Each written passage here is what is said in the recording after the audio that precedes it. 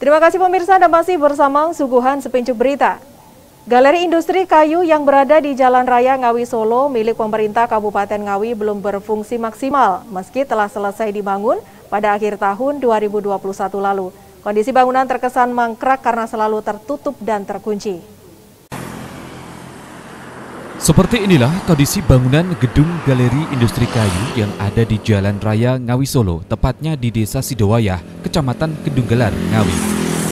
Galeri tersebut dikelola oleh Dinas Perdagangan, Perindustrian, dan Tenaga Kerja atau DPPTK, namun belum berfungsi maksimal. Bangunan yang sedianya sebagai tempat pameran hasil kerajinan kayu tersebut selalu tertutup dan terkunci. Bahkan di dalam gedung hanya ada beberapa hasil kerajinan kayu dari para perajin. Namun karena kondisi gedung tertutup, maka masyarakat dipastikan tidak dapat melihat hasil kerajinan. Kepala DPPTK Ngawi Yusuf Rosyadi berdalih jika galeri tersebut telah beroperasi, namun karena bersamaan dengan waktu lebaran kemarin, maka sementara tutup dan itu hanya sehari karena seluruh pegawai DPPTK halal bihalal.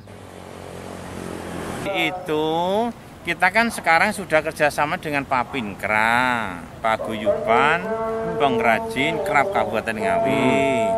Kemudian Papinkra sudah apa ini ada kesempatan dengan kita dan barangnya sudah mulai masuk. Memang itu tempat display, tempat display contoh teman-teman paguyuban, eh, teman-teman yang bergerak di bidang apa ini kerap itu kan bisa menitipkan barang di situ sebagai contoh. Hmm. Kalau nanti ada tamu kita yang masuk Ngawi, nanti kita antar ke situ. Seperti kemarin Bupati Lampung Timur itu, ya. hmm, datang ke sana, kita beri ini contohnya ini, misalnya dari Romansa ini, kemudian dari Pak Sugeng Craft ini, dari Pak Jiono Craft ini, dari Media Craft ini, nah, kemudian di situ nanti yang pasti ada informasi lengkap tentang craft di Kabupaten Ngawi.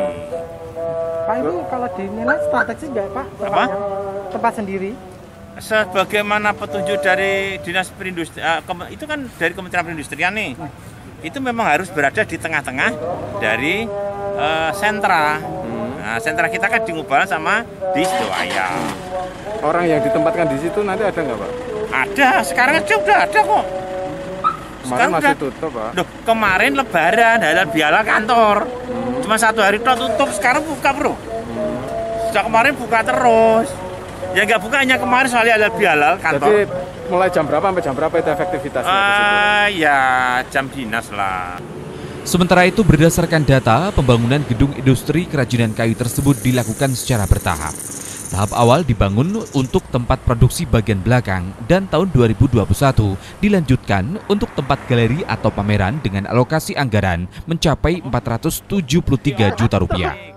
Namun sangat disayangkan jika bangunan itu tidak berfungsi maksimal. Itu Wahyu, CTV, Ngawi.